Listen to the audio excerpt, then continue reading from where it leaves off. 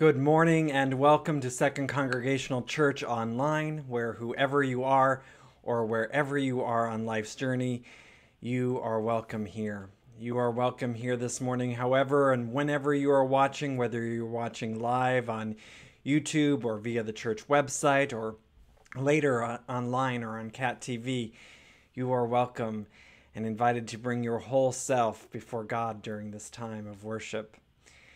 I'd like to especially welcome any new friends who are with us for the first time. You are welcome here. Glad that you are with us. And I'd like to thank all those who help uh, make this time of worship possible. Matt Edwards, our music director, Sue Green, our church musician and handbell choir director, and our liturgist this morning, Lorna Cheriton. A reminder that I invite your prayer requests. Uh, if you're watching live, you're welcome to put those prayer requests uh, in the chat on YouTube, and we'll pick those up later when we get to the time of prayer um, in the service. Throughout the week, you're, you're welcome to email me your prayer requests um, in my church email inbox. Today we are blessed with a beautiful fall day. Uh, if, it is a little chilly, uh, and so I'm I'm happy that our our front yard fellowship will be able to go forward, and I look forward to seeing a few of you at one of the locations today. And we will also have our customary Zoom fellowship time directly following the worship service. With that, let us remember who we truly are that each of us is a beloved child of God, created in the divine image and loved beyond all measure. And so let's sit with that for a moment. Pause and remember who you are. And as you are remembering that, breathe in slowly and out and listen to these centering words Draw near to God, and God will draw near to us as we serve and minister together.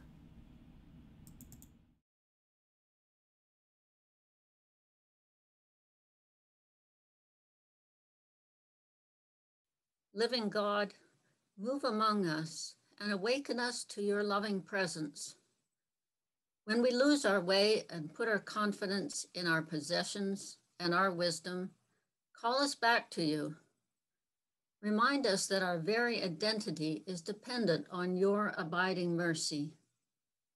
Show us how to walk with steadfast faithfulness, following the path of justice and goodness in our daily lives.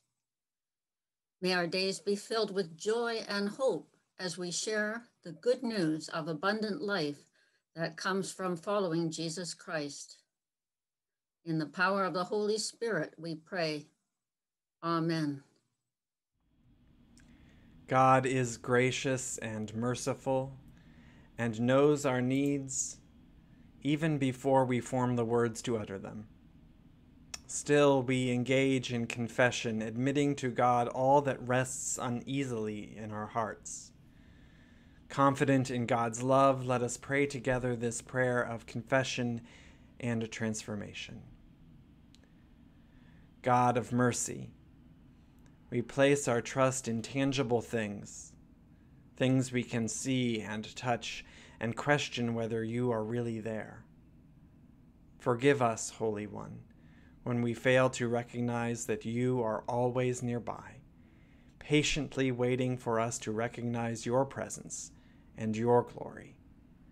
Help us when we lose our way, and forgive us when we forget to whom we truly belong. Lover of justice, open our eyes to see you, open our ears to hear you, open our hearts to love you, and open our hands to serve you. Amen. When we cry to God, looking for favor in God's sight, God answers, My presence will go with you, and I will give you rest. In the power of the Spirit and in the name of Jesus, we are forgiven. We will rest in God's mercy. Let us sing together.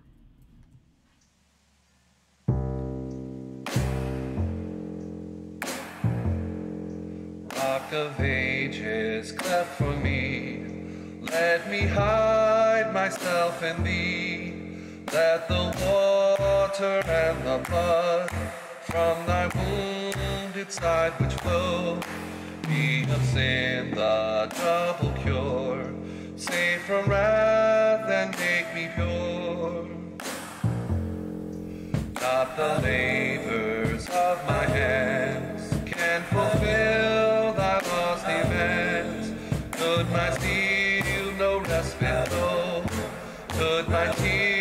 forever flow?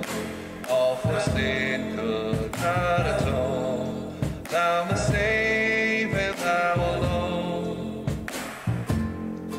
Nothing in my hand I bring, simply to the cross I cling.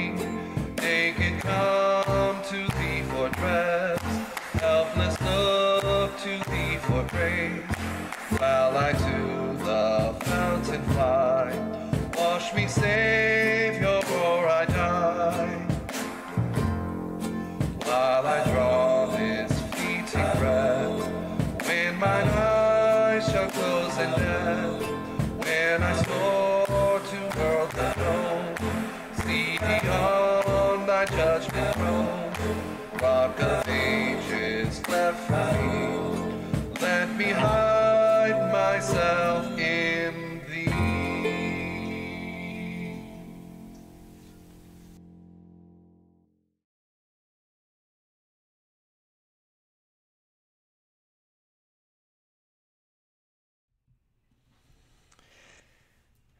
This morning, we begin our fall stewardship campaign for 2021, and the theme for our stewardship campaign is celebrating our gifts. And I got thinking about that theme this morning and decided to call a bit of an audible for this moment for of for social justice. I thought about can we should we during this time be celebrating the gifts of our African American brothers and sisters, our African American siblings, the gifts that they've given throughout our country's history. And I was thinking about Thelonious Monk, who's one of my favorite musicians. Thelonious Monk was a jazz musician of the bebop era. era. He really defined the bebop era of jazz, and it's a particular style of music that I love and has meant a great deal to me. We would not have African American, we would not have, I'm sorry, we would not have jazz music if not for African American contributions. Uh, jazz has often been called America's contribution to world art. And we have it because of our African American siblings.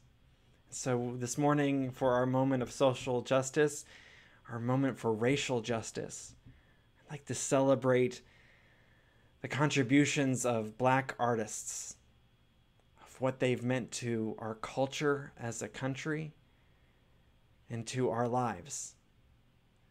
Whether they are jazz musicians or rap musicians or artists, painters, writers, actors. Black artists contribute so much with their gifts. And so this morning, I'd like to pause and celebrate that. Let us pray. Loving God, we are so, so grateful for the contributions to culture that is made that have been made by our black brothers and sisters. Sometimes we take it for granted. But this morning we want to celebrate and lift them up. We are grateful for them. We ask that you would guide those black artists, those, especially the young ones. Help them be all that they might be to share their gifts with us and move our culture forward in ways that we have yet to imagine. We pray all this in the name of our Lord Jesus Christ. Amen.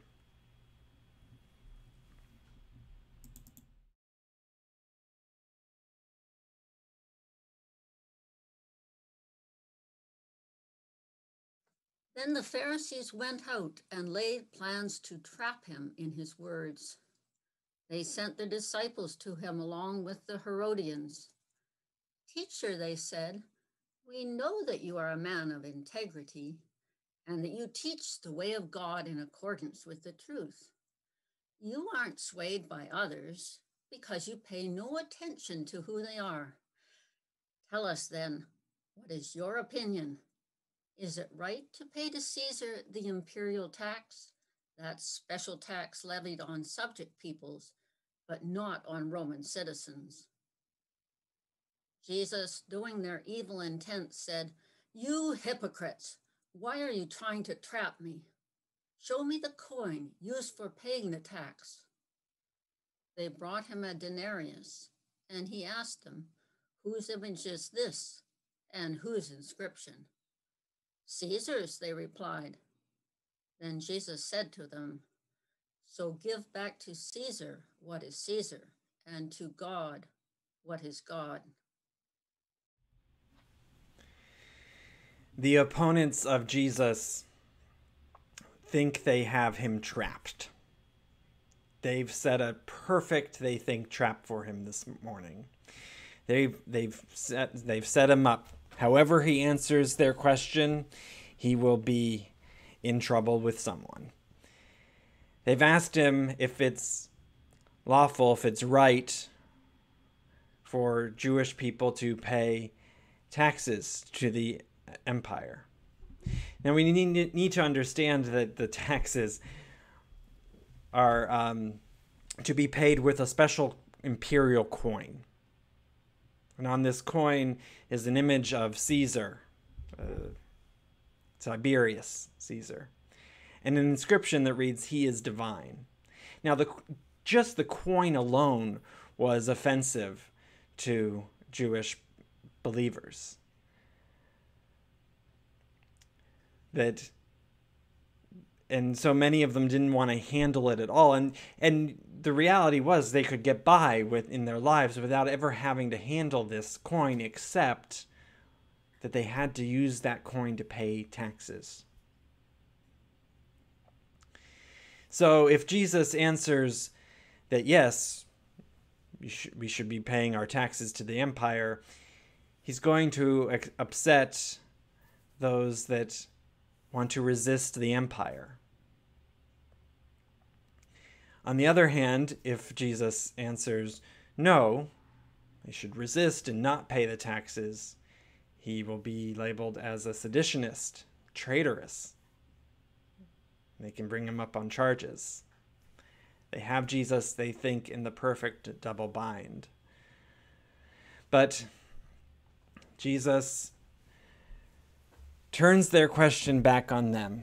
He asks them, Give, give me the coin. Let me see that coin. And he looks at the coin and he says, Whose image is this? Caesar's. So give back to Caesar what is Caesar's, and give to God what is God's.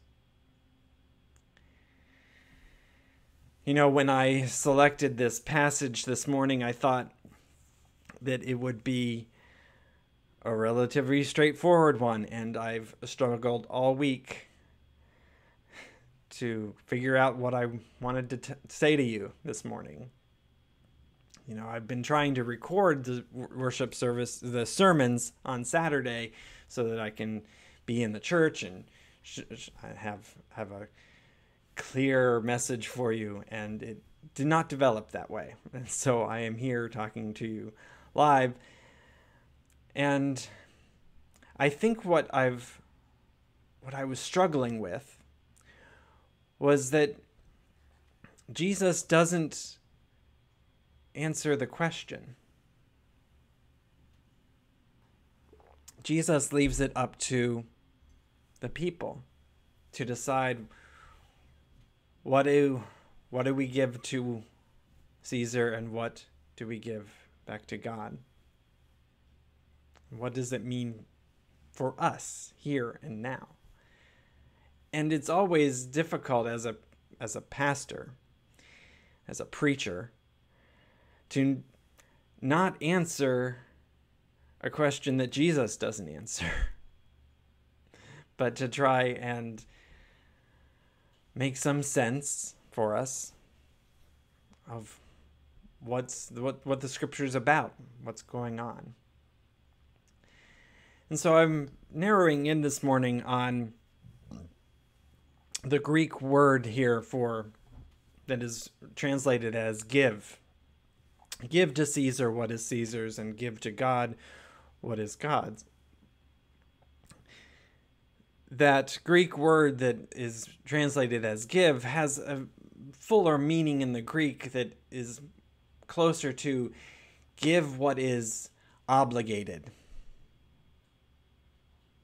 To give what is obligated to Caesar and give to God what is obligated to God. And so this morning, I'd like to just reflect with you on our obligations. What are we obligated to give and to whom are we obligated to give it? Because it's not always as clear cut. So, what are our obligations to our country? What are we obligated to give? We all pay taxes. And that much seems clear. the money that we carry has images of Americans and presidents, not gods. So we give back to Washington what has Washington's image on it. But what other obligations do we have? Obligations as citizens. Are we obligated to participate? To vote? Does that obligation carry with it an obligation to be informed?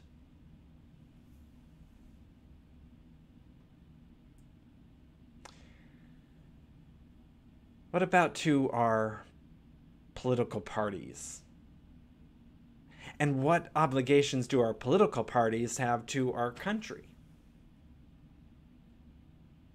Is, is their only obligation to their members and to advance the party's cause and agenda? Or do the parties have some obligation to the country? Do our obligations as citizens carry us forward that we must support the country at, co- at all costs? to the point of unjust war or unjust practices.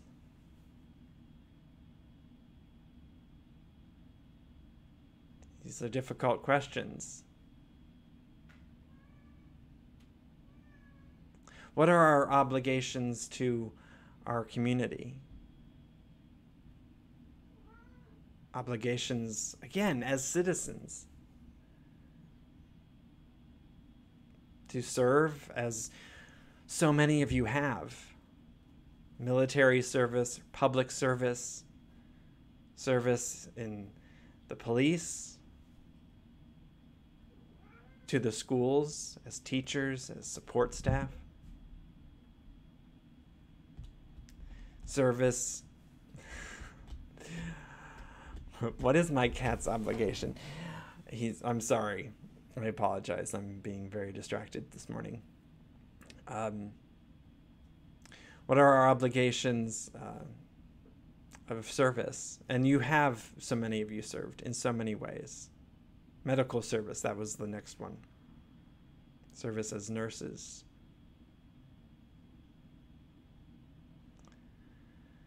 Do, do those obligations follow to our particular social class, racial obligations?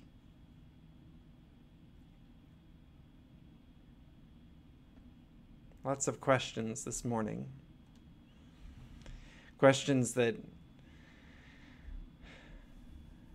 maybe have clear answers and maybe don't. But I think we need to ask these questions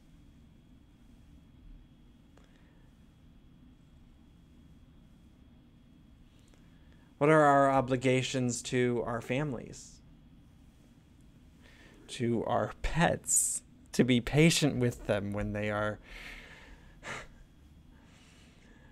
sometimes uh, Spartacus is a great co pastor, and sometimes he's a great distractor. What are our obligations to our families? To put our families first? Maybe sometimes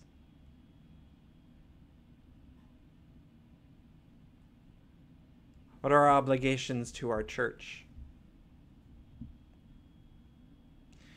To supporting our church? This is the question we are asking ourselves during this stewardship campaign. This time of stewardship is a time where we reflect upon what are what are we to give? How are we to give? How are we to give of our time, as so many of you do? Of our talents? What is our obligation to give of our financial means, of our financial gifts?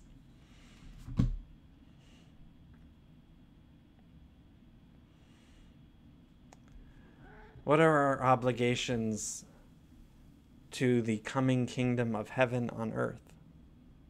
Ah, God, finally, finally getting to God. What are our obligations to God?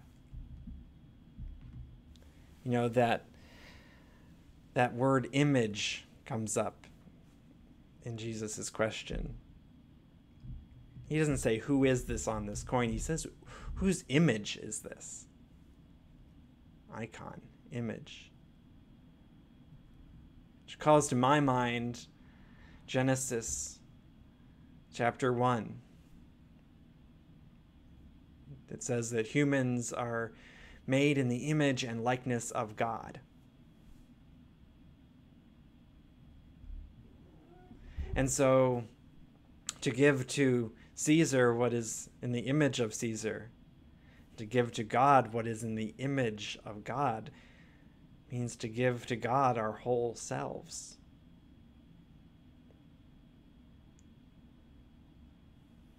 It means that our obligations to God touch on all of those other obligations that we've reflected upon to this point. And Jesus says that we are to love. That is our obligation. That is how we give back to God, to love God and to love our neighbor as we love ourselves. And we remember that there are three loves in there loving God and loving our neighbor as we love ourselves, not instead of loving ourselves, but as we love ourselves. Because we are beloved by God, we are made in the image of God. So I think that we are obligated to become the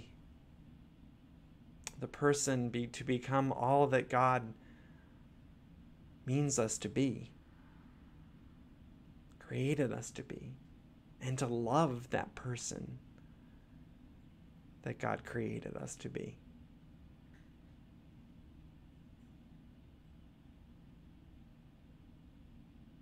Obligations as citizens to this country, but as more so as citizens to that coming kingdom of heaven on earth, a kingdom ruled by Christ Christ, love made incarnate, love infleshed, love made human.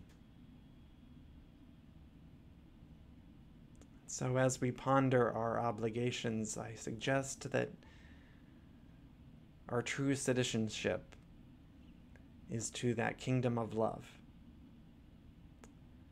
that we should allow ourselves to be ruled by that. Amen. And in that kingdom of heaven, in that kingdom of love, we share with one another our joys and we celebrate our joys together and we share in our concerns and we share the burdens of grief with one another. So I invite you to this time of prayer. And as I say, God, in your mercy, I invite you to respond, hear our prayer that each prayer is our prayer collectively. Let us pray. O loving God, we are yours, made in your image. And so we know that you hear all of our prayers. Prayers this morning that all in our community that all in our community may know what is God's and what is Caesar's and may have the courage to so to live. God, in your mercy, hear our prayer. We pray that justice and peace will be the signs of our trust in God. God, in your mercy, hear our prayer. We pray that the church, in the spirit of Paul, may preach the gospel not merely in words, but in the power of the Holy Spirit. That we would be love infleshed, love with hands. God, in your mercy, hear our prayer. We pray that each of us following Jesus may be truthful courting no one's favor, but living with simplicity and honesty. God, in your mercy, hear our prayer. We pray that Like the apostle, all the people in the church may live their faith and labor in love for the poor, the homeless, the imprisoned, the persecuted, and the sick, and that by God's power the suffering of all creation may be relieved. God, in your mercy, hear our prayer. We pray that wherever there is violence, especially within a family, we may be enabled to confess our part in allowing this darkness to continue. We have shut our eyes to the cries of fear and pain. And so, O oh God, we pray that your healing may come to all homes. Hear us, O oh God. God, in your mercy, hear our prayer. We pray, O oh God, this morning for those facing transitions in their employment and for all the anxiety and personal doubt that come along with these kinds of transitions. God, in your mercy, hear our prayer. You hear all the prayers of your people, O God, and so hear now the prayers of your people of Second Congregational Church. Prayers for Joe's brother Phil, who is now in a memory care unit. God, in your mercy, hear our prayer. We pray for George and Janice as they travel. May they be safe as they are traveling now to Oakland to be with Pat, George's sister in law, as they grieve George's brother Charles. And we are with them in their grief. May they be surrounded by our love and your comfort, O God. God, in your mercy, hear our prayer. We pray, O God, for our beloved Lou, Lucille, who has been living in Springfield for some time but has remained close to our hearts, O God, as she has now transitioned to hospice care, as she has been faced with pancreatic cancer. We remember Lou this morning and that we pray for her comfort and for her loved ones and family. God, in your mercy, hear our prayer. For migrants and refugees and their families everywhere, O oh God, we are in solidarity with them this morning. God, in your mercy, hear our prayer. We continue to pray without ceasing for Matthew as he continues to battle cancer, and for Robin and the whole family as they continue to care for Matthew. God, in your mercy, hear our prayer. We lift up our brother George to you this morning, who now finds that he again has cancer, bladder cancer. And it is early, God. We don't know what the treatment or prognosis might be, but we lift George up to you and his beloved Grace as they figure out what the next steps are. God, in your mercy, hear our prayer. We pray for Nancy Jean, who has been in the hospital all week after a fall, and that she is facing a lengthy recovery. We pray for comfort for her and for Tom, her beloved. God, in your mercy, hear our prayer.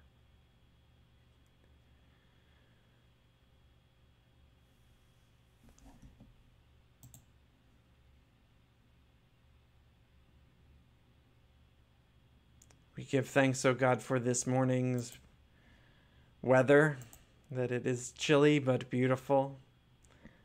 And we ask your blessings upon our front yard fellowship that we would gather in our small groups outdoors safely in this time.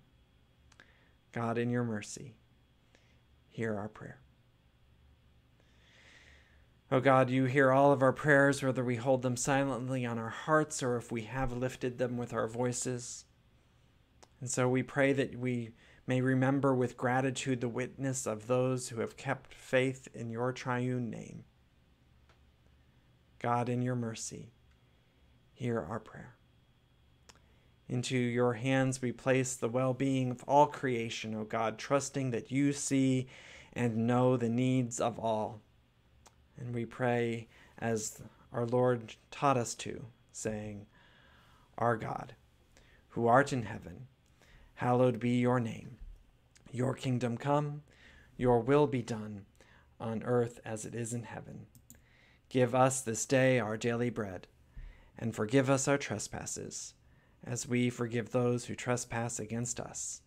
And lead us not into temptation, but deliver us from evil.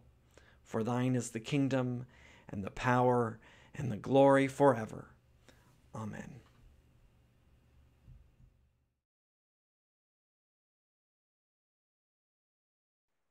Good morning. I'm David Adams. First, thank you for your continued support throughout the current year. I'm here today to start the annual pledge campaign for 2021. Before I go into detail, I'll share a short story about the time my sister and I asked our mother if we could sell lemonade. She said yes. After our adventures were over, she sat us down and explained that we owed her for the sugar and the lemons. Thus began my financial training. Over the years, we have had dedicated folks working on our finances. Many years ago, Carolyn Ostrander took the cash offering home, counted and recorded it by hand, and then walked the funds in her purse to the bank. Not something we would do these days. It is also important to thank Bill Lyons, who has guided the coronavirus loan process through its many and rigorous stages. We are awaiting the financial certification of our loan from the federal government. Until the certification is received, we cannot share it as income. We must also thank Mike Day and his thank you, thank you, and thank you in many of our previous pledge messages and campaigns. A little history right now of how we're doing with our giving this year. As of the end of September, we're approximately $10,900 ahead of where we were last year at this time. It is now my turn to take over the reins of asking you for your pledges and financial support. You, the members and friends of Second Congregational Church, have been supportive and generous in your faithful and financial gifts beyond any reasonable expectations. It is my hope and prayer that all of us along together can continue this honorable tradition of supporting our God filled lives. Thank you. We are celebrating our gifts this stewardship season. And over the next couple of weeks, we will be highlighting people who give a lot of their time to make Second Congregational Church all it is. So this morning, I'd like to lift up David Adams to you, who has spent countless hours over so many years working on our church financials, auditing helping keep the books, and keeping track of all of our, all of our investments and making sure everything is in place. Dave continues to give hour upon hour looking after our church and our financials, as do our trustees and Robin, our church administrator. We are grateful and, and fortunate to have so many people with so many gifts in these in this realm. And so let us support one another in our gifts, in the giving, in the way that we are giving our time. Let us support those who give their time with our financial gifts so that Second Congregational Church may continue to be a place where we can celebrate all of our gifts. This week you will receive a stewardship letter in in the mail with a pledge card and a return envelope that is stamped. And so I invite you to prayerfully consider um, how you will support Second Congregational Church with your financial giving next year as you do that, I am grateful for your support of, uh, of Second Congregational Church now and your many gifts of time and treasure and talent. And so let us bless our offerings this morning. God, source of all that is, lover of justice and source of equity, help us live boldly and truthfully as we seek to follow your ways embolden us to share with others the gift of grace that you have so abundantly given us. Receive and bless our gifts that we return to you now. In the name of the one who gives life, we pray. Amen. And so, having been transformed by this encounter with God's grace, let us remind one another how we are to be. Go out into the world in peace. Be of good courage, hold fast to that which is good, render to no one evil for evil, strengthen the faint hearted, support the weak, help the afflicted, honor all people, love and serve the Lord, rejoicing in the power of the Holy Spirit. And receive this blessing in the words of the Apostle Paul. May the grace of our Lord Jesus Christ the love of God, and the fellowship of the Holy Spirit be with you all. Let us go in peace to serve the Lord. Amen.